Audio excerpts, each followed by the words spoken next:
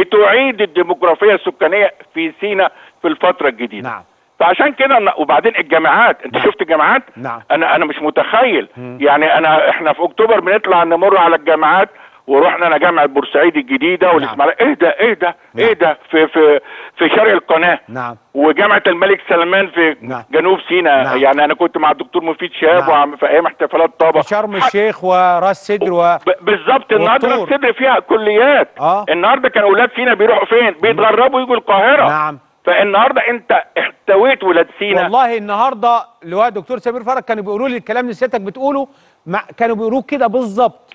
قالوا اولادنا كانوا بيتبهدلوا ويروحوا فين؟ النهارده بقى الجامعة جنبي. وبعدين تيجي تقول له تبقى ليك انتماء. مم. انتماء فين يا أحمد؟ نعم. الانتماء انك إنك تحس إن بلدك بتخدمك. النهارده إنه بياخد عقد. ارض النهارده تملك أراضي اليوم. تمام. فعشان كده النهارده الناس دي اللي خدت أراضيها ادي آه. شوف جامعة الملك سلمان نعم. وجامعة بورس... شرق بورسعيد اللي, اللي في سينا. نعم. كل دي حاجات جديدة ما كانتش موجودة يا أحمد. نعم. الحاجة الثانية اللي أنا عايز أقول لك عليها بقى اللي كانت فيها وهو مينا العريش. آه. مينا العريش آه، كان في الأول بياخد أربع مراكب. سيد الرئيس قال يتطور. بعد كده لما حصل دخلنا بقى في القصة إن إحنا عاوزين نبقى هاب رئيسي للحاويات في نعم. المنطقة.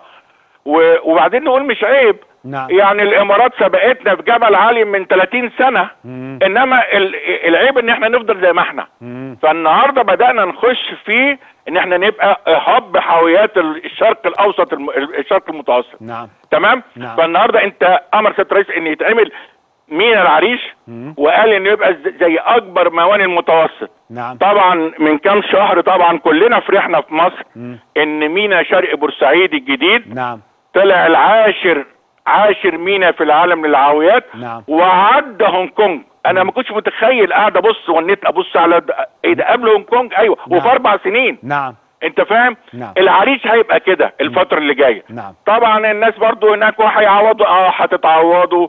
وأنا كنت عن سيادة المحافظ يومها وموجود وهيتعوضوا كامل وكل حاجة. إنما دي هتعمل انتعاشة كبيرة جدا للعريش لأنك هتربط مع طابة والعريش مع بورسعيد مع الطرق مع خط السكة الحديد وإذا ما لحقناش ال- الجار اللي جنبك بيعمل الكلام ده. نعم. إسرائيل بتعمل الكلام ده النهارده. نعم. عاملة من من إيلان لعسقلان. نعم. اذا أنت لو ما عملتش الكلام ده دلوقتي ولحقت نفسك هيبدأ ياخدك.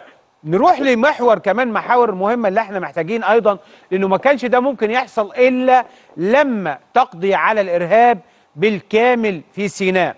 الله ينور عليك. هذا الملف المهم التحدي اللي واجه الدولة المصرية. تمام. أنت أنت قعدت أربع سنين تجابه الإرهاب. آه.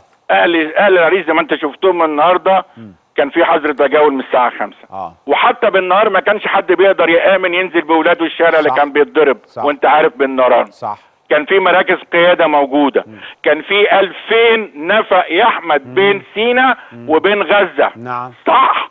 نعم. الكلام ده كله اتشال كان في مراكز قيادة نعم. كان في مخازن سلاح وذخيرة موجودة نعم. كان تلغيم طرق نعم. كانش حد بيقدر ينزل كانوا بيوقفوا العربيات في السكة ويضربوهم بالنار وينزلوه وشفنا الأحداث وشفنا مهاجم مسجد الروضة نعم. كل الكلام ده في أربع سنين اتحسبت لمصر مم. النهارده أنا دعيت أنا في تايوان من آه، سنتين في مؤتمر عن الإرهاب وكان كلنا آه، ناس خبرة من ال... يعني حوالي 40 دولة من ال... من العالم.